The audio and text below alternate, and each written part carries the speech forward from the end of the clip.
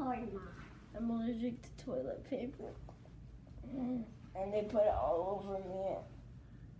And it really hurts.